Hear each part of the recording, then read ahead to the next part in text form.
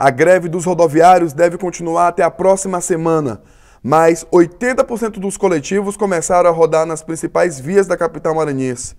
Mesmo com uma quantidade significativa de ônibus em São Luís, o que se observou foram os coletivos e paradas vazias.